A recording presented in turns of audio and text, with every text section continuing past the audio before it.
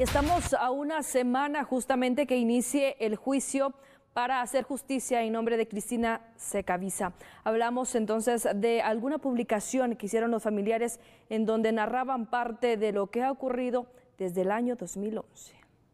El miércoles 30 de septiembre, los jueces del Tribunal de Mayor Riesgo C tienen previsto iniciar el juicio en contra de los últimos procesados por la desaparición y supuesta muerte de Cristina Sicavisa en julio del 2011. La próxima semana al estrado deben presentarse el investigador privado Óscar Celada Cuevas y la expresidenta del organismo judicial Beatriz Ofelia de León. Durante el juicio, Celada Cuevas será juzgado por obstrucción a la justicia y usurpación de funciones. Según la Fiscalía a cargo del caso, el procesado cometió esos delitos al ocultar información a las autoridades sobre la desaparición de Cristina Sicavisa. La expresidenta del organismo judicial y de la Corte Suprema de Justicia, Beatriz Ofelia de León, será juzgada por el delito de amenazas. Según la acusación en contra de la funcionaria, amenazó a Petrona Olga Say Velázquez, colaboradora eficaz en el proceso y extrabajadora doméstica de la familia Barrea Sicavisa, para que no declarara en contra de su hijo.